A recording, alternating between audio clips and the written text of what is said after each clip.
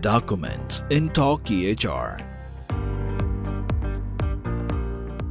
In this video session, we will learn about different functionalities of Documents module in Talk EHR.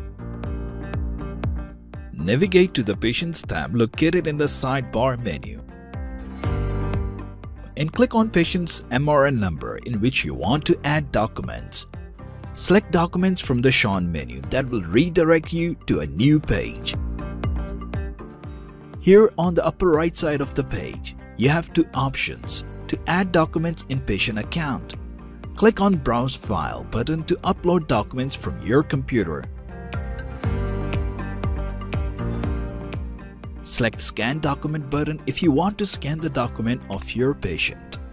After uploading the document, a new window will pop up where you can mention the type and subtype of the document. Then click on Assign to and you will be shown the list of all provider in a drop-down menu. Here you will select the provider to whom you want to assign this document. Then you can add reference URL of the selected document in the optional reference URL box. Select the start and end date.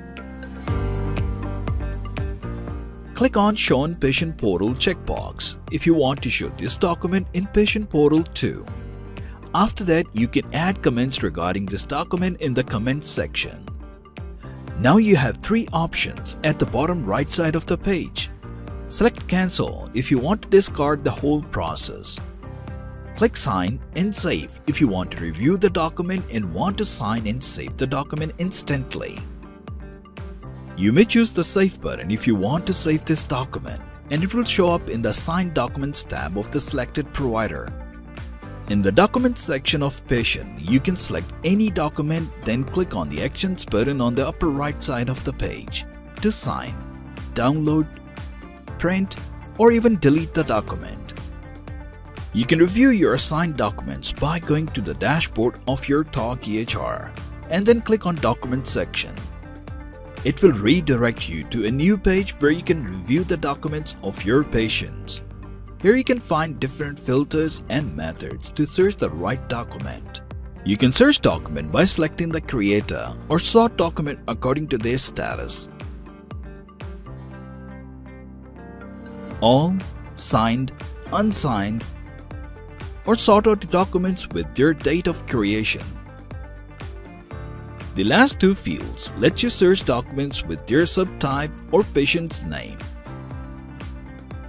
Click on the checkbox of any document and click on the Sign button on the upper right side to sign the document or choose All Sign to sign all the assigned documents at once. That's it. In this way, you can use the Documents module of Talk EHR efficiently. If you have any queries, feel free to contact our customer support representative anytime.